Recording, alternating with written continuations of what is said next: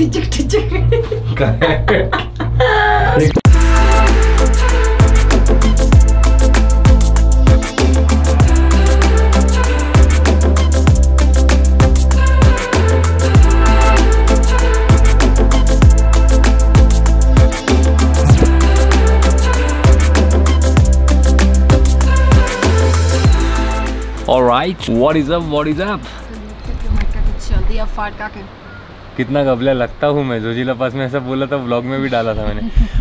Another day another vlog another vlog from Solan valley Manali और uh, जो river का आवाज़ आ रहा था उसके पास जाने का समय आ चुका है तो let's move towards it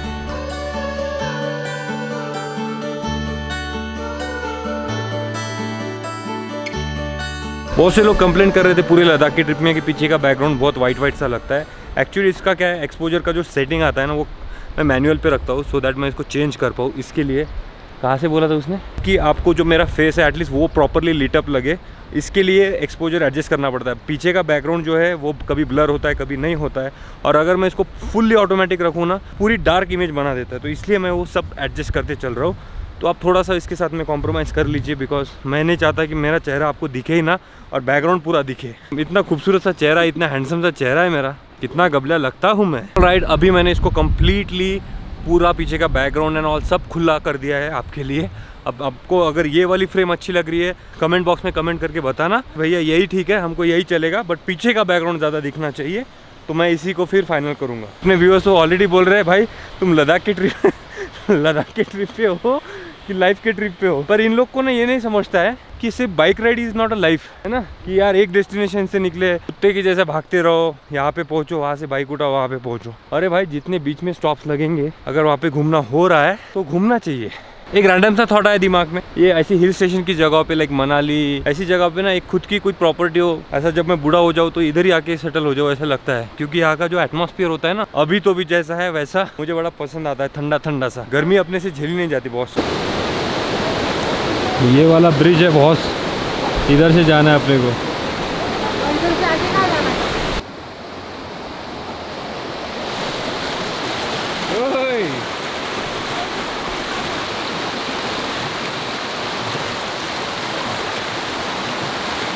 adventure सोडून एडवेंचर हो ॲडव्हेंचर पे ॲडव्हेंचर बरं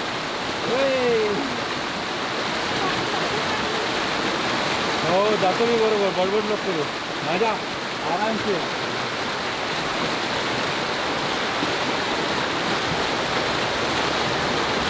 ओए, पहुँच गया मैं.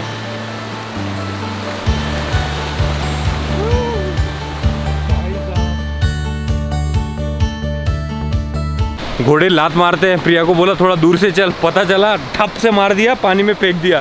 तो लोकेशन स्काउट हो चुकी है। अभी यहाँ पे होगा। प्रिया मैडम का फ़ोटोशूट मेरा फ़ोटोशूट हमारा लोकल फ़ोटोशूट नहीं तो आपको लगेगा भैया प्रोफेशनल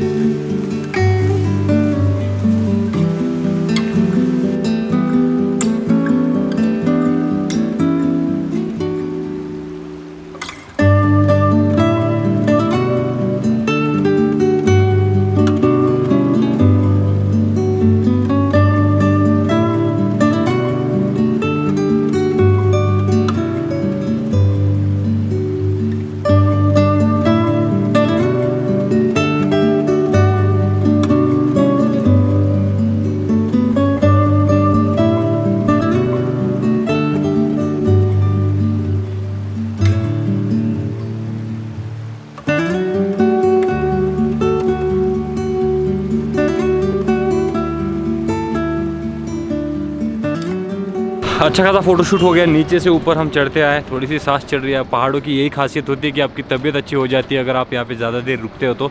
इसीलिए मैंने पहले बोला था कि यहाँ पे कोई ना कोई एक प्रॉपर्टी ले लेनी चाहिए, बूढ़ापे में अपनी 10-20 साल अपनी उम्र बढ़ाने के लिए। जंक फ़ूड लिया गया है अभी। ये हमारा मजदूर कैरी कर रहा है सब कुछ।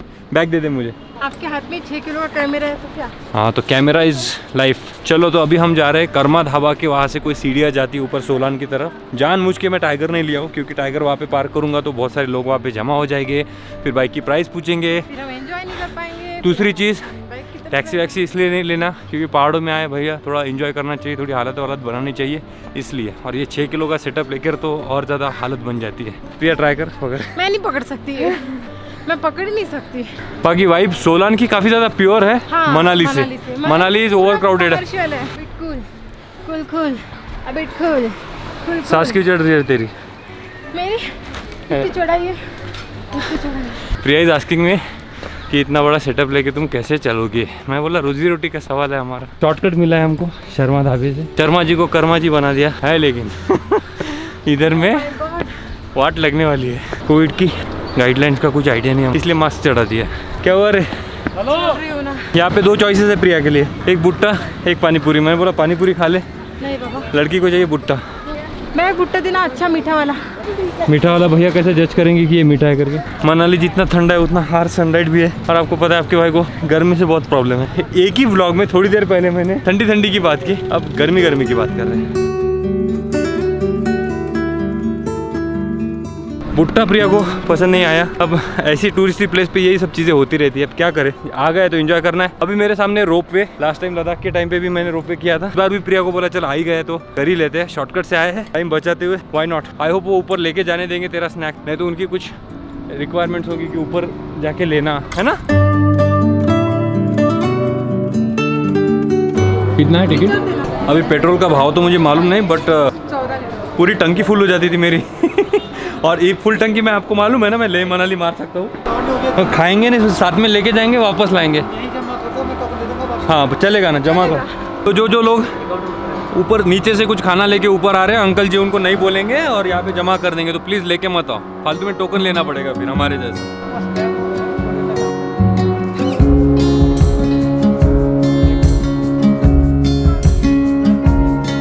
So finally we are in the rope way कैसे लगा प्रिया?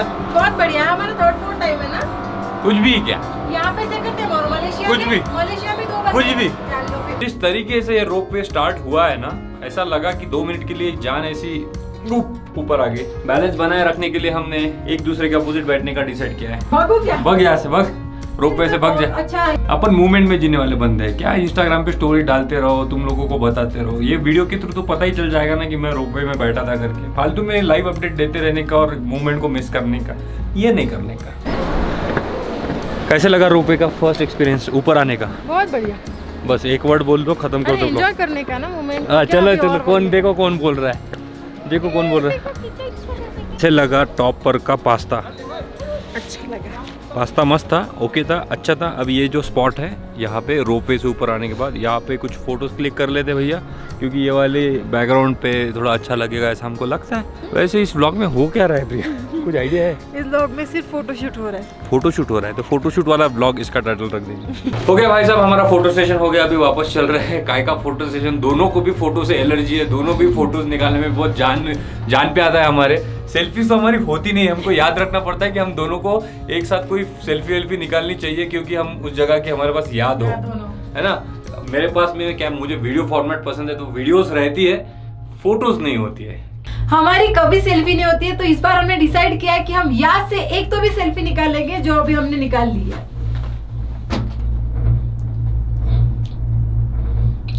टिचक टिचक। है तो है ये क्या था टिचिक टिचिक? ये सेल्फी निकाल रहा था। खुद ही टिचिक टिचिक। कुछ भी। कुछ भी मतलब कुछ भी। मतलब कुछ भी। चल अपने बाप को बाय द वे जो भी सामान हमने काउंटर पे छोड़ा था वो सही सलामत हमको मिल चुका है। और जो चीज़ हम ऊपर लेके गए थे वो खाई नहीं थे हमने। ये लगा हाँ। कि ऊपर एक डेढ़ घंटा लगेगा लेकिन ऊपर कुछ भी नहीं है। लॉकडाउन का कंप्लीट इफ़ेक्ट पड़ा हुआ है।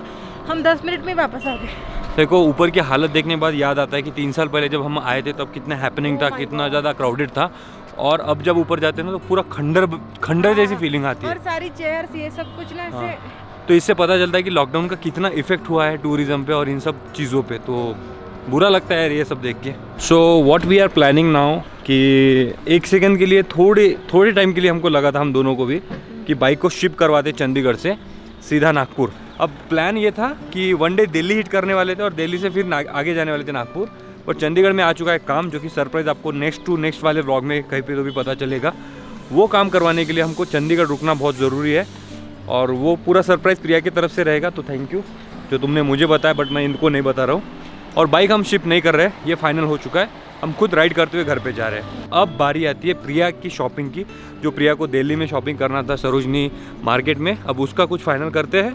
अगर वो जुगाड़ हो गया तो फिर शायद दिल्ली में रुक जाऊँगा मैं। अब ये लड़की की आदत मुझे मालूम है कि अगर इसने शॉपिंग की तो ये कितनी करेगी। और उसको मुझे फिर से शिफ्ट करना पड़ेगा क्योंकि बाइक पे अब जगह है नहीं। अब बाइक तो ट्रैक्टर बन गई अब बुलडोजर नहीं बनाने का बाइक को। चिड़चिड़ मत करवा प्रिया तू। में अरे चिड़चिड़ तो मत क्या करो गया फिर मैं? चिड़चिड़ मत करवा तू। ये देख मैं कैमरा एकदम ऊपर कर दिया ले। हाँ तो मैं फ्रेम में आ रही हूँ और हाँ। कहीं कौन सा भी पत्थर रहा तो अभी मैं मुँह पे नहीं गिरूँगी। हाँ। और मैं लेंस में देख रही हूँ आगे मेरा मुँह फूटा तो भी चलेगा। हाँ। कोई भी अगर अपने रूम में आता है ना तो वो बस एक ही बात बोलेंगे, भाई, इन्होंने क्या आतंक मचा के रखा है रूम में? दो ही लोग हैं और ऐसा लगता है कि कम से कम बारात आई है किसी शादी की, इतना लगेज और इतना सब पसाराम करके रखते हैं। है background this is the gallery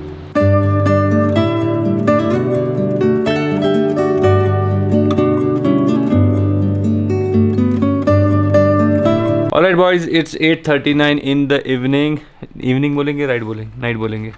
Alright everyone it's 8:39 in the night video video edit कर रहे थे हम, ये रहा। और साथ ही साथ खाने का बुलावा आ गया था तो खाना भी खा रहे हैं अभी। खाना हम खा लेते हैं, तब तक आप इन्जॉय करो। क्या करें, इनको लगाएँगे, इनको इन्जॉय नहीं इन्जॉय मत करो अभी। अभी कल सुबह सीधा बाइक पे मिलते, फिर बाइक पे इन्जॉय करते। ओके टाटा बाय बाय खत्म।